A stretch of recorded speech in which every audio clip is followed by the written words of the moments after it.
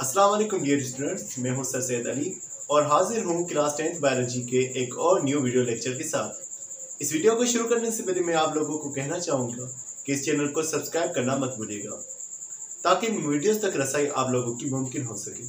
तो आइए इस वीडियो को शुरू कर दें तो स्टूडेंट्स आज की वीडियो के अंदर हम लोग इंस्पायर्ड एयर और एक्सपायर्ड एयर के बारे में बात करने वाले हैं। यानी वो सांस जो हम लेते हैं, वो सांस और जो सांस हम छोड़ते हैं, उन दोनों के अंदर जो कंपोनेंट्स हैं, जो चीज़ें हैं, वो कौन कौन सी शामिल हैं और किस तादाद के साथ वो चीज़ें शामिल हैं? मिसाल के तौर पर अगर हम इंस्पायर्ड एयर की बात करें, उस हवा की बात करें जो हम दाखिल करते हैं, वो सांस जो हम लेते हैं, उस सांस के अंदर ऑक्सीजन कितना परसेंट मौजूद होता है?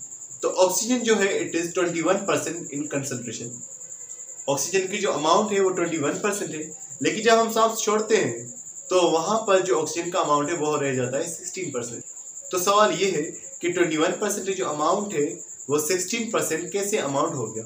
तो इसका जवाब बिल्कुल सिंपल है कि जो हमारी बॉडी है, जो ऑक्सीजन दाखिल हुआ हमारी बॉडी में, उसने ग्लूकोज के साथ रिएक्शन किया रेस्पायरेशन का और जो ग्लूकोज को तोड़ते वक्त काफ़ी सारे ऑक्सीजन जो है, वो खर्च हो गया।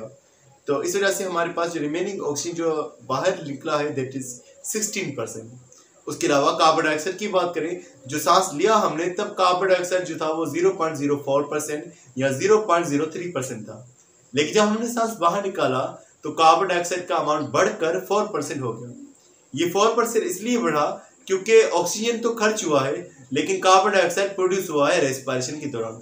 इसीलिए कार्बन डाइऑक्साइड हमारी बॉडी से ज़्यादा रिलीज़ हुआ।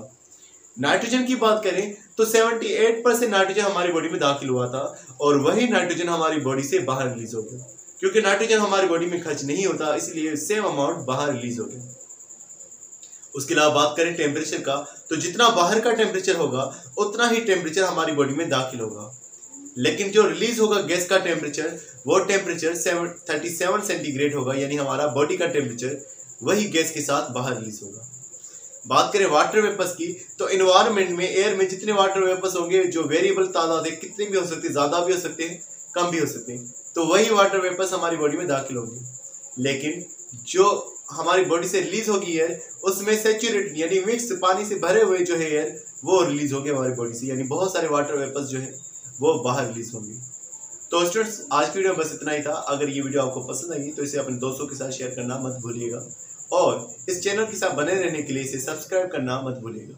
मिलते हैं नेक्स्ट वीडियो में एक और न्यू वीडियो लेक्चर के साथ। तब तक के लिए अल्लाह हाफिज़।